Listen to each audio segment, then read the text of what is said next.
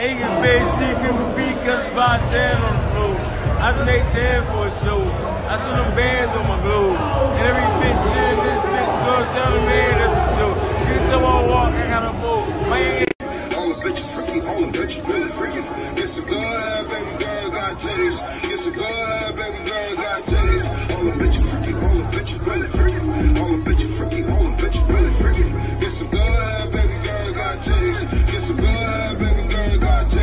Take it to the mirror, baby girl. I don't know who need to hear this, but god damn. I mean, because if this is the way that women's basketball is going, then I'm going to tell my kids when they grow up, this is WNBA basketball. My kids catch me watching this and they ask me what it is, I'm going to tell them that these are Ballislife videos. Because I'm going to be real with y'all, when I first seen this video, I didn't even see a basketball court.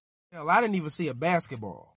I just seen bubbles. Just lots and lots of fucking bubbles. I mean, honestly, they don't even got to know how to fucking hoop. Just run up and down the court. That That's good for my health. Because there is nothing wrong with athletically gifted women playing the sport that I love so much. To the ladies in this video, if you need a hands-on certified shooting coach, hit my line. Fuck it, just hit my line, period. I think I'm gonna go play some basketball today. But first, I gotta go watch that motherfucking video again. Fuck that.